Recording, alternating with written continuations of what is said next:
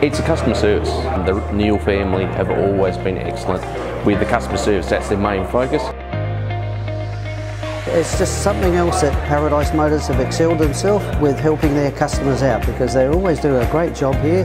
Fantastic staff, always stepping that extra mile to help their customers and this is fantastic. It brings us all together to enjoy what we, what we love, Mazdas.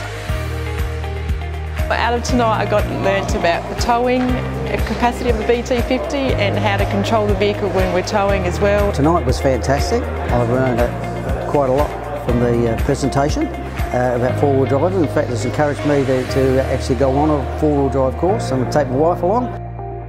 Trying to read the manual can be a little bit overwhelming, so actually being able to someone tell you this is how it operates, show the video and that is very actually helpful. I think they're very informative and there's always something that you'll learn that you weren't quite sure of.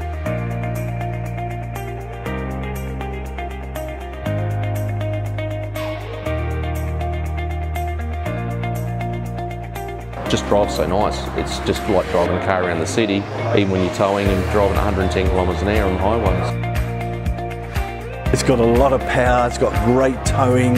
If you've got a really big caravan, you can, you can stick that on the back. It's not a problem. It's a, it's a great car to drive actually, love it. There's lots of room in there and yeah, there's the, all the practicalities of the vehicle.